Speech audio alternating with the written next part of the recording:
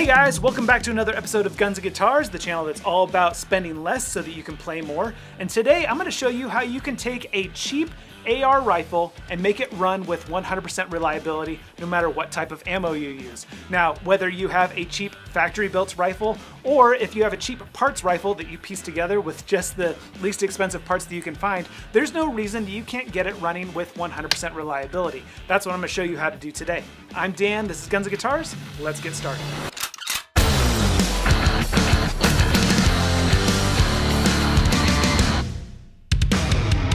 Firstly, I'm going to start off by saying that this is not a gun modification video, and this is not a gun building video. I'm not going to show you how to build or modify guns in any way. All I'm going to be doing is showing you how you can maintain your AR rifle so that it feeds and functions with 100% reliability, no matter what type of ammo you're using. Now this works for any of the AR platform, okay? Whether it's a pistol, carbine, or rifle length, or even in this case, an AR-10 308. Now I personally have built well over a dozen ARs. I think maybe this is number 14 and this is my first 308. And I did the same tips that I'm gonna show you on this rifle as I was building it and it does function with 100% reliability. All right, now obviously if you're doing a custom build, you can skip these steps, but if this is your first time disassembling your AR rifle, this is how you do it. First things first, eject the magazine, make sure your chamber is clear. Then we're gonna pop out this rear takedown pin. Just push on it from the backside. It'll pop out a little bit, pull to release, and then this will swing forward and loose. We'll remove our charging handle and bolt carrier group. Set those aside. And that's honestly good enough, but to make this easier, we're gonna go ahead and pop out that front takedown pin as well. So just pop that up, pull it out, and you're good to go. The first thing that we're gonna work on is the buffer tube, spring, and buffer. So to remove your buffer, you're gonna push down this little spring detent right here and that'll pop right out like that. And go ahead and just work it all the way out. We're gonna pull out the spring as well. Now obviously I have a full length rifle stock on here. If you have a carbine or pistol length buffer tube, then you'll need to remove your castle nut. But for me, I just need to slide my rifle stock off. And then you'll need either an AR armor's wrench or a castle nut wrench to remove your castle nut or your A2 stock. I'll tell you more about my armor's wrench a little bit later. Shoot. And don't do what I just did and let that spring and plunger fly across the room. Make sure you hold that down when you're undoing this. That was my bad. And now that we've got this all disassembled, I'm going to show you what you need to do to these parts to make your AR run 100% reliable. For this, you are going to need some 600 grit wet dry sandpaper. And then I like to use a Dremel tool with a cloth polishing wheel and some brown polishing compound. But you don't necessarily need the rotary tool, just a cloth with polishing compound will work just fine. This is just a little bit faster. And we're gonna start with the buffer tube. Oftentimes when you buy a cheap buffer tube or a cheap rifle, it will come with a cheap buffer tube and on the inside it may not be milled out very well. And so what we're going to do is remove any burrs and scratches inside there. This one actually feels pretty good. This is a CAC buffer tube and it actually, I mean, looking down inside it, it actually has a really good smooth finish. So I'm not gonna work too hard or stress too much about this one, but if you feel down in there and you feel like it's not as smooth as it could be, we're gonna take our 600 grit wet dry sandpaper, just, you know, wrap it loosely around your finger and stick it in there and just kind of gently massage it around in there. And again, I'm not too concerned about this one because it feels pretty smooth, but what you can do then is, you know, you could tape it to a screwdriver and send that way down in there and get it smooth all the way down to the very back. But I'm not gonna stress too much about it. That actually feels pretty good. I'm not gonna, I'm not gonna worry too much about it. Now, your buffer spring, we're gonna do the same thing. So again, we'll just take our 600 grit sandpaper and we're just going to loosely kind of go like this. And all we're doing, we're not removing any material, we're not removing the coating, we're just making the coating a little bit smoother. If there are any burrs or rough edges, we're knocking those off. That's, that's basically all we're doing here. Because what it comes down to is that the reliability of an AR pattern rifle depends on how well the gas system is timed and not have any burrs or rough edges that create extra friction that will cause hangups. And then now we're gonna do the same thing with the buffer. I'm actually really impressed with this whole CAC assembly. I've bought some really cheap AR parts before that have not been as nice as this. But you can see, especially these areas right here, I'm just kind of making sure we got no burrs or anything like that. Now again, our Dremel tool with the polishing compound on it, and we'll just go in just as far as we can reach. Just kind of polish up that inside, like so. Polish up our buffer edges. And I know I sound like a broken record, but I'm just reminding you, we're not removing any material, we're not removing the finish. We're just smoothing out these little edges that could cause little hangups down the road. Remove all this polishing compound here. Same for the spring. We didn't polish it, but we did sand it, so let's remove it.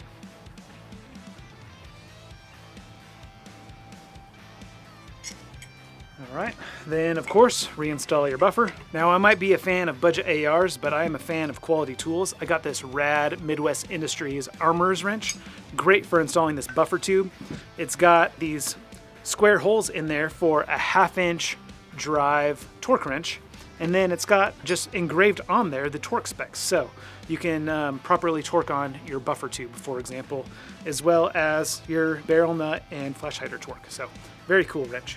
So a term that you're gonna hear from me quite a bit, I think in this video, is we're gonna run this wet. And that's one of the tricks I use for getting a budget AR style rifle to cycle reliably, is we're just gonna put on a little extra lubricant than we normally would. I am a fan of CLP. I've tried all kinds of different lubricants. People are always sending me new stuff to try, saying that their stuff is the new industry standard, it's better than CLP, whatever. Um, but I always come back to CLP. So what we're gonna do is typically you wouldn't lubricate this part, but we're just gonna put a little bit of CLP on this. And the reason why you typically wouldn't lubricate this part is because it can get dirty and it cause it to foul up a little bit over time.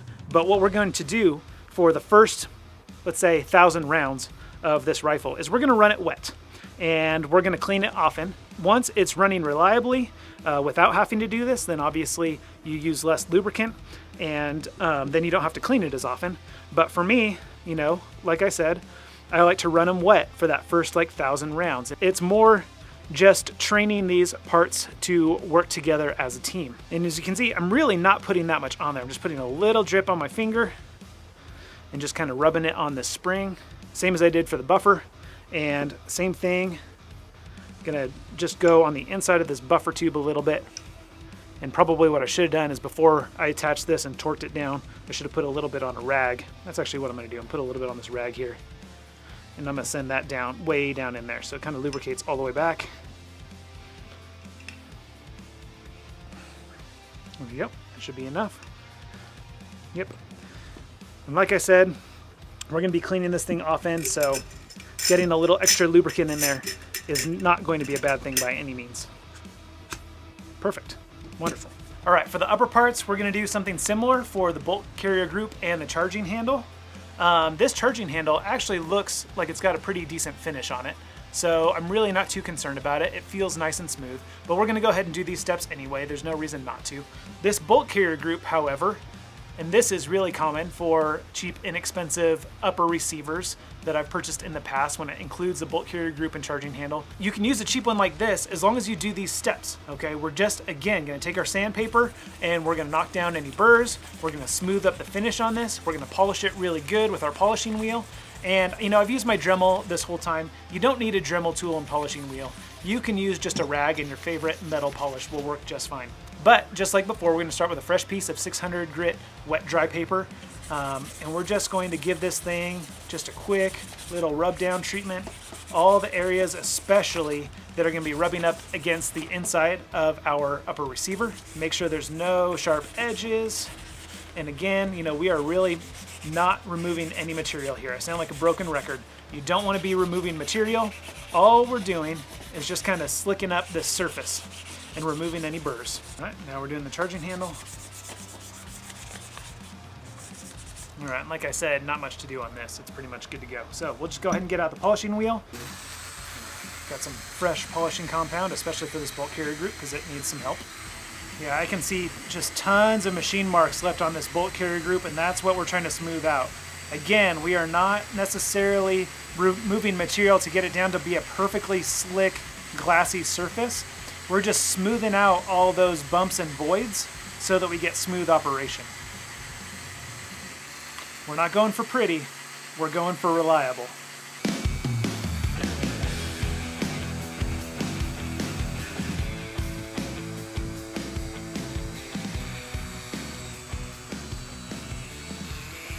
As you can see, this is definitely where I'm spending the most time, because this is where my specific AR builds needed the most help.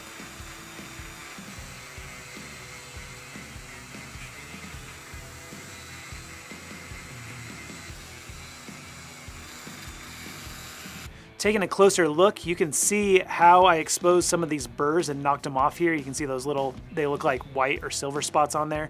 Those were little burrs that could cause extra friction. They're just smoothed down, so I've got nice smooth action all the way across that charging handle. Same thing on this guy uh, it really exposed a lot of the tooling marks, especially right along here. You can see all the dents and bumps. And the point wasn't to sand those out because that would be removing too much material. The point is just to make those smooth. So as I run my fingernail across them, I don't get hung up on them at all. So it's important to get all the polishing compound off. You really don't want to have any left on there that's gonna gum up your rifle while you're using it. So clean that off the best you can. Like I mentioned before, we're gonna run this thing wet. I'm gonna put in a lot more lubricant than I would if I was running one of my already reliable ARs. And uh, I'm just gonna rub a little bit of the CLP pretty much inside this whole upper receiver.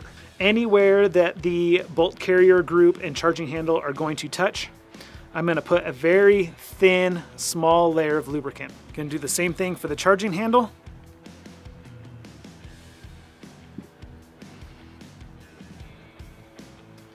On the inside of the charging handle here. Just kind of rub it around so that's a nice thin coating everywhere. Don't necessarily want it to pool up or puddle. That would be too wet. So kind of wipe off some of the excess a little bit.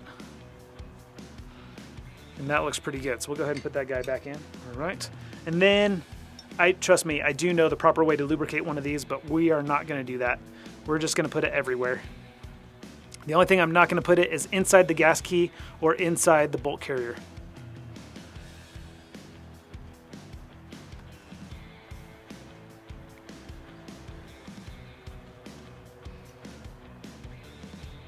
And yes, I know that I am overdoing it, but like I said, we are going to just run this thing sopping wet. We are going to clean it often and then once we get past that first thousand rounds, then we should be good to go for the rest of it. All right, that is nice and wet. All right, let's snap them together. All right, now that our gun is fully built and put back together, let's take it to the range and see what it can do.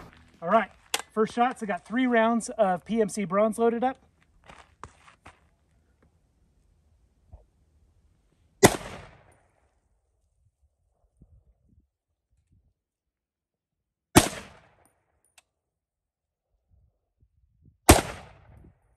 All right, three shots flawless. Locked back on the last round. Let's run a whole mag. 20 rounds in a PMAG, PMC bronze.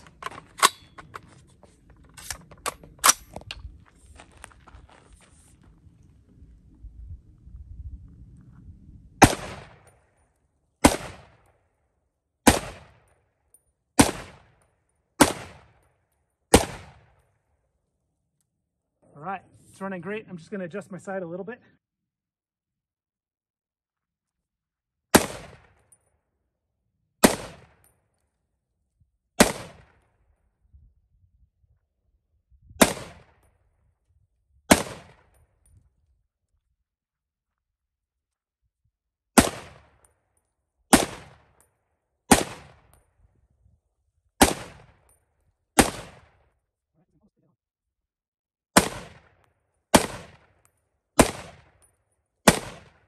All right, lock back on last round.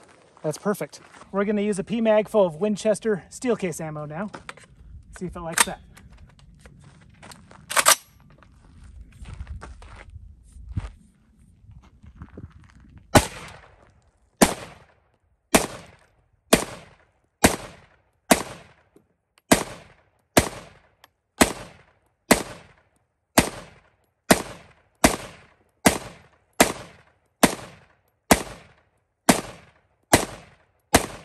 Right.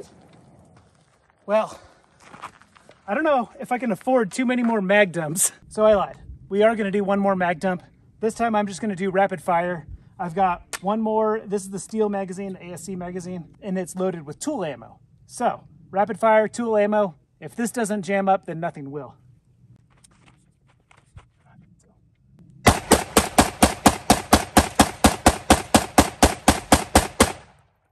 Woo, yeah! Feel the heat coming off that barrel.